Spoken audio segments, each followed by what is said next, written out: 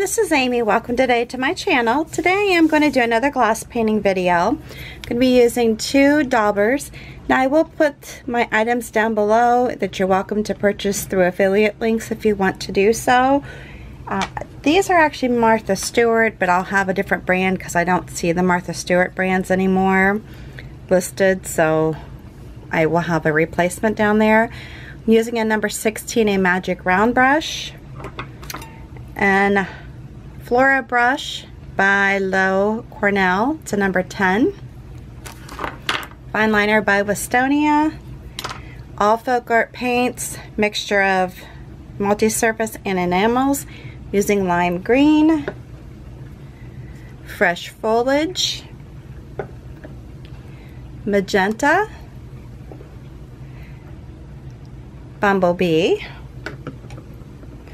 Vivid Orange, and Wicker White.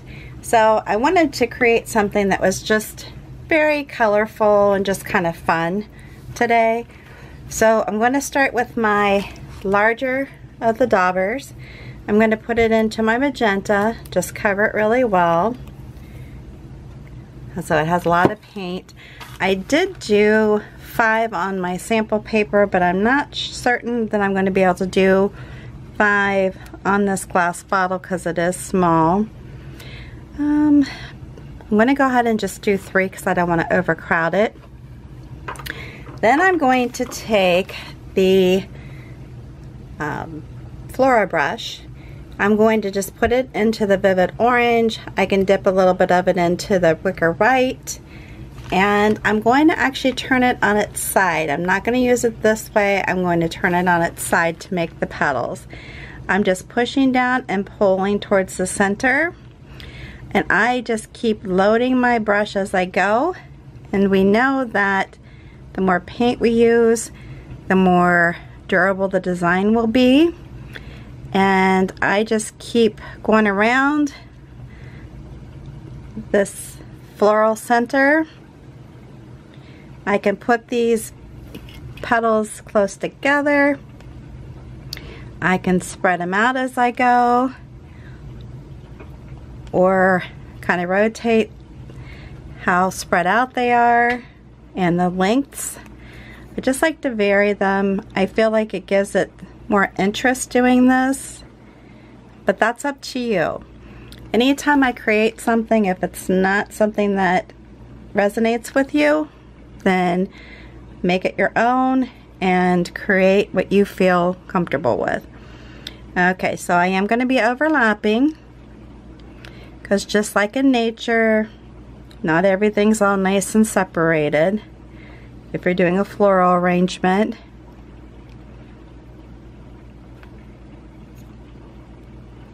Again, keep in mind, the more paint you use, the more durable your design is going to be, meaning it won't chip as easy or with a glass bottle, it's not as big of a concern as if you were doing wine glasses or something that people are going to be holding. So that's, again, not as big of a concern. But just keep that in mind.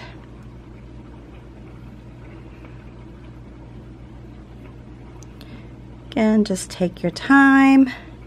Put on some fun music if you like to meditate. Maybe some meditation music. Your favorite band or whatever. And just sit back, paint, and relax. Just enjoy.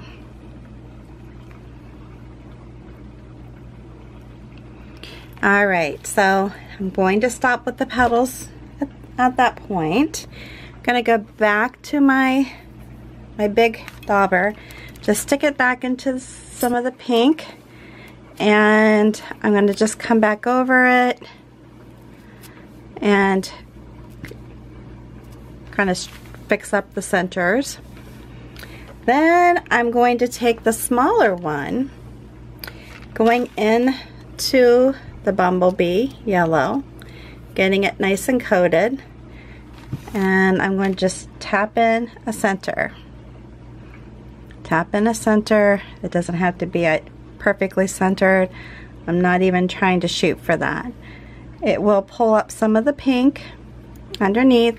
If you don't want it to do that, then either hit it with a heat gun, hair dryer, give it some dry time, whatever you need to do. Then I'm going to come into the lime green, stick my fine liner in there, go into the fresh foliage, and then just pull it out. Come through here. I'm going to do a single stem.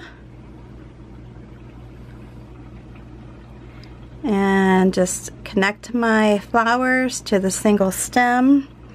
I can make the stem thicker.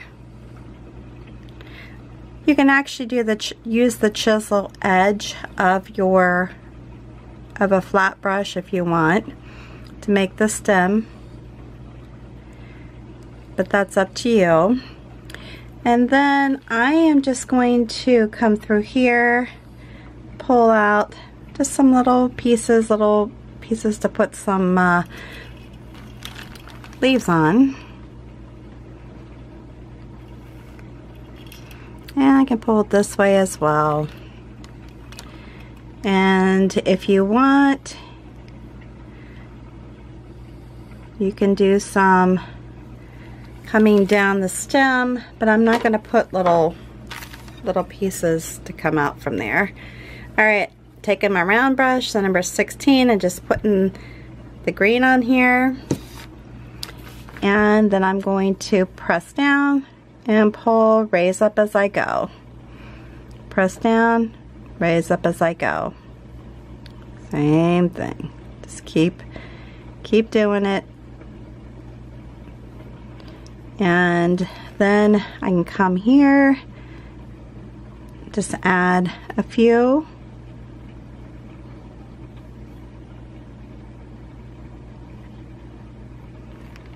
And it's just very simple. I can even add one in here. Of course, I'm going to pull up some of the orange, but that's fine. If it bothers you, then you know what to do. Just hit it with a heat gun or a hair dryer or give it some dry time and then it won't do that. But since I'm keeping it simple, just doing it quickly here, not a big deal. and then you can come down here do some down this one less pressure smaller leaves. That's all you have to do. If you want to come back through with your liner brush add some more paint and just come back through and add you know some stems here and there to attach that's up to you. I didn't actually on my sample. I'm just quickly coming through and doing this. You don't have to, as I mentioned. Again, just keeping it simple and easy. Very colorful. Kind of helps brighten up my day when I have colorful designs that I'm creating. And there you have it.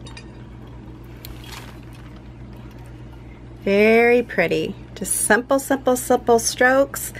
Use any brushes that you have. Don't go through the expense of buying any specialty brushes, even though the Flora brushes, a specialty brush, you can do do that really with a round brush or a flat brush, you know, whatever you have on hand. Alright, I hope you like this video. If you do, make sure you give me a big thumbs up. New to my channel, subscribe, hit that notification bell.